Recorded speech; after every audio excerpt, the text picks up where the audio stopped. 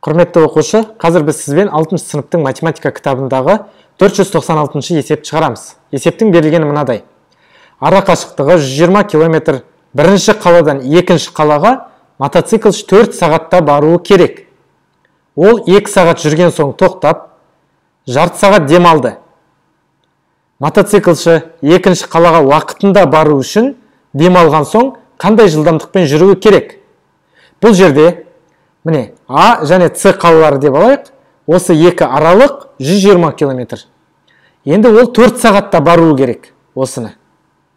Енді 2 сағат жүрген соң демек барлығын 4 сағатта барса мына 120 километрді. Ол 2 сағатта жолдың жартысын жүреді деген сөз иә?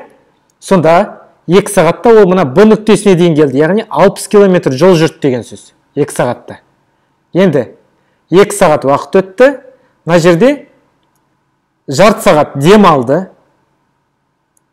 Енді ол қалған жолды уақытында жету үшін демек қанша уақыт жүру керек? Соны тауып алайық. Барлығы бізде төрт сағат болды иә? Төрт сағат.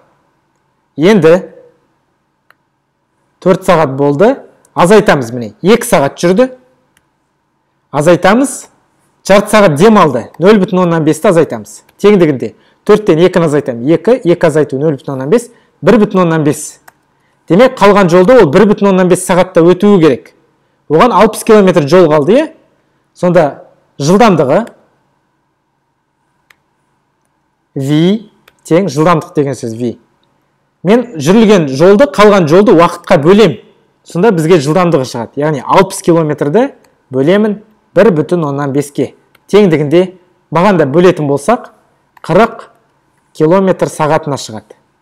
Сонда жауабы қалған жолды уақытында бару үшін демалған соң ол 40 километр сағат жылдамдықпен жүруі керек.